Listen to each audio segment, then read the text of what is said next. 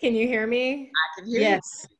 Great. Um, real quick, uh, I was introduced to the company and the products. I checked out the products. Uh, the ingredients look good, and um, you know, I didn't see anything that shouldn't have been in there.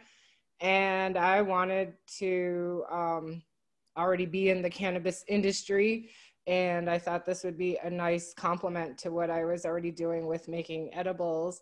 And um, you know, it, it was appealing to me that it was started by four women of color, being a female minority myself, and that um, you're about ju- uh, social justice. Um, did you want me to do my testimony now too? Yes, I do. Let them know.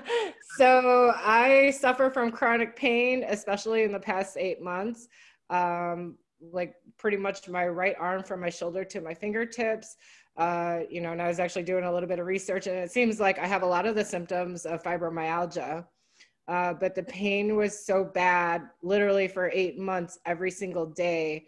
Uh, it was like on a pain level of nine to 10, where it was almost debilitating. I, it was hard for me to wash my hand, hair because I couldn't raise my right arm high enough. I'd have to like bend it down. I had to learn how to do a lot of different things without my right arm because I couldn't raise it anymore. Um, and like, I just didn't want to do anything. Like, I was tired, I wasn't getting good sleep. And um, like, I was just thinking about it. Like, I've been taking the products for two weeks and literally, like, I have very minimal pain where my pain is down to like a two or three. Um, you know, and I'm like, I got my life back. Awesome. like I, I was just thinking like, wow, I really have not done anything for like eight months where it was, you know, like I wasn't productive because of the pain. Like I was so distracted by the pain. And like I'm so excited that like, you know, the pain isn't as bad anymore. And most of the time, like I don't feel the pain anymore. And I like layer so I use the tincture every day. Um, I use the Hemp MD 900 milligram.